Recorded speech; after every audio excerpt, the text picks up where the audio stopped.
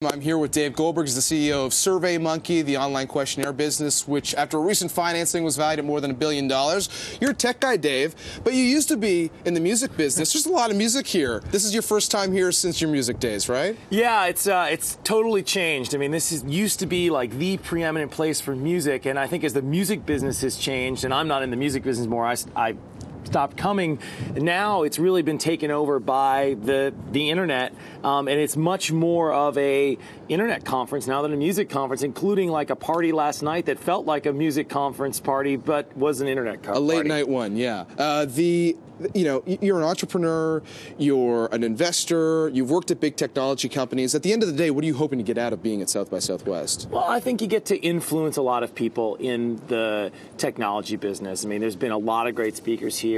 I gave a speech yesterday talking about the, the value of using um, explicit data like surveys with implicit big data and how you can kind of combine those two things to get better answers. You know, I think a lot of people gave a lot of very interesting presentations here during the conference, and I think you get the message out to a very broad group of people when you're here. So there's buzz at South by. There's also a little bit of buzz in your life because some people may have seen you on 60 Minutes last night along with your wife Sheryl Sandberg of Facebook, who just wrote a book, Lean In. Um, what's the reaction you've been getting to that appearance?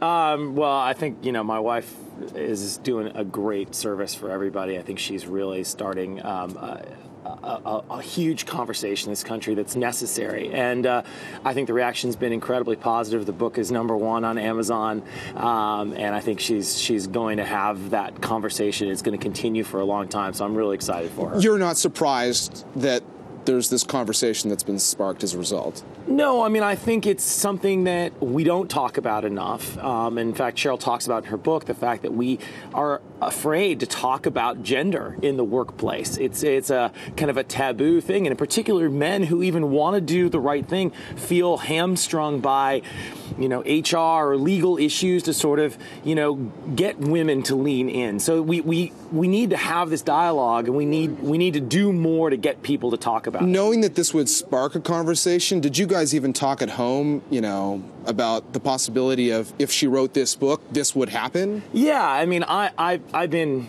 hugely supportive of her writing this book. I mean, it's obviously taken a lot of of her free time away from you know other things that we do, but it's been, I think, an incredibly powerful thing to sort of have her help people. The reaction she's gotten, um, even just from last night, but also I think as people are reading the book and it's out today, uh, I, I, think it's going to help a lot of a lot of women and men. I think it's going to men men need to read the book too. It's really valuable for men as well. Well, Sheryl often tells us that you're a good guy, and we know you. You're a good guy, but does she still have to remind you to do your chores at home? we have a we have a pretty good system for figuring this stuff out. But to be fair, and she talks about in this book, and it wasn't like something that just sort of naturally happened. Like you have to kind of work at these things in the house, and I, I had the advantage of growing up with uh, my my parents sort of sharing these responsibilities, so I had that model, but most people didn't.